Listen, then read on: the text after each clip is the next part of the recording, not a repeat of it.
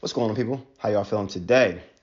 Now, a lot of things have been going on lately. This whole corona nonsense, and I don't think people understand how important this time is, and we'll probably n- never get this time again.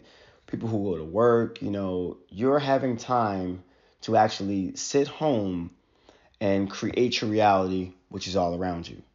And you're going to have to learn how to use and tap into your subconscious mind, which you subconsciously use, but you don't understand quite how it works. So, this video is going to teach you about your subconscious mind and how it shifts and shapes your entire reality and what's going on inside of your incredible bodies. Because at this point, your body is basically a shell around your spirit. Your spirit is encased into your body right now, but your body, which your subconscious mind does live in, has infinite wisdom which you can tap into whenever you want. So this video is about your subconscious mind. Now, your subconscious mind is the constant builder of your body and maintains all your vital functions while awake and sleep. When you're sleeping, you don't remember to breathe. It just happens.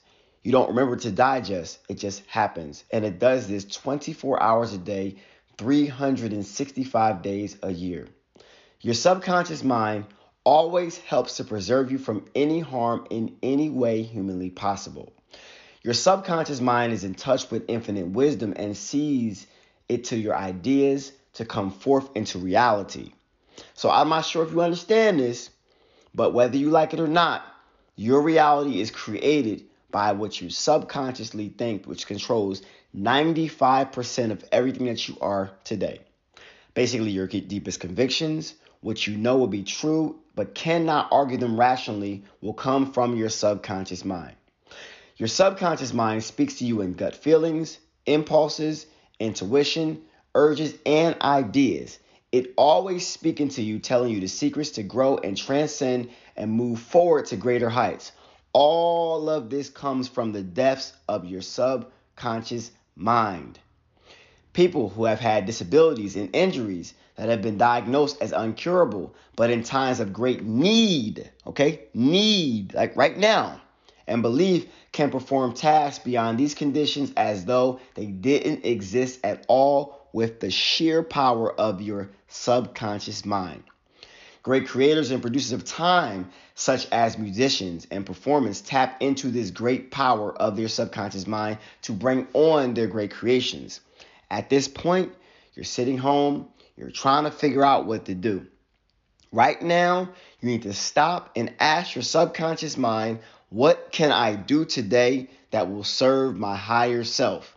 And the answer will pop right into your head because you always had the answer, but now you are putting yourself in a position where you choose to listen to the answer and do what it says. Check this, y'all. A man by the name of Robert Louis Stevenson used to command his subconscious mind to give him stories step by step in his dreams before he went to bed when his bank account started to go low. He said the intelligence from his deeper mind gave him stories piece by piece, proving the unlimited reservoir of your subconscious mind.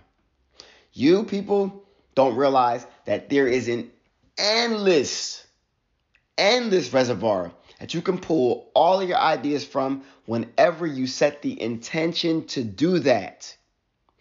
Intention is extremely powerful.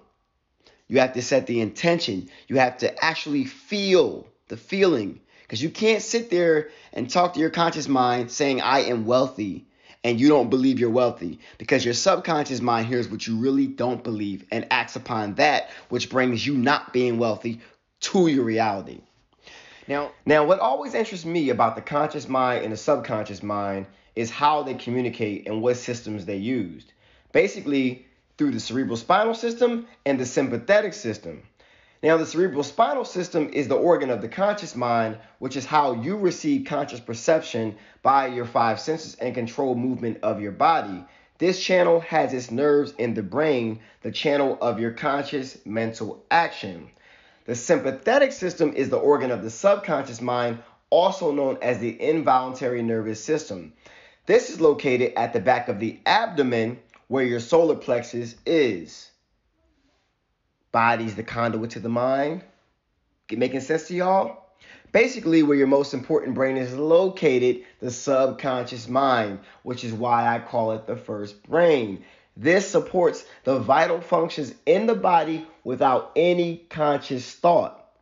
Now, the way these two communicate, the vagus nerve pass out of the cerebral region and the portion of the voluntary system. Through it, we control the vocal organs. This passes the thorax, sending out branches to the heart and lungs.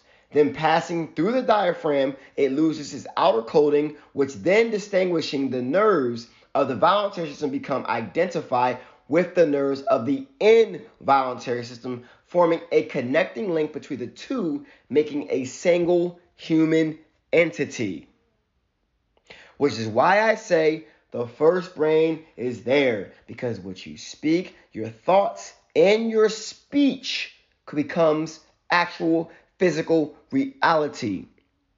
Control everything because you cannot trick or manipulate your subconscious mind just by saying things you do not believe.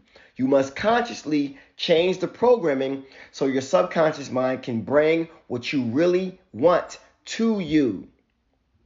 Change your body because where does your subconscious mind live? In the back of your abdomen, in a ganglionic mass back there, baby, where your solar plexus is. So some of y'all with y'all solar plexus chakras all closed up. No wonder why things aren't working for you. You're not eating right and you're not getting your energy right. And when you, get, you eat right, you get your energy right, which is why you should eat life food, food that has energy. Your body is your conduit to your mind. So I hope you learned something today about what's going on in your beautiful biological vessel that your soul is encased in. Know your future. Speak your future. Become your future because you visualize and you see and you feel your future. So all you're doing is creating a timeline for what's going to happen. You're moving towards it because it's already happened. Because time in another dimension is going on at the same time, all the time, all around you at one time. All you're doing is controlling the way you get there. Love y'all. To the next video. See y'all soon. Peace.